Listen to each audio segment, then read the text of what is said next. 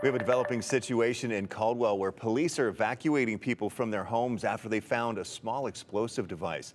The explosive device was found inside a home near Walnut Street and Kimball Avenue. The bomb squad is right now on the scene. A CPD spokesperson says they don't have many details at this time. We'll be sure to keep you updated as we learn more.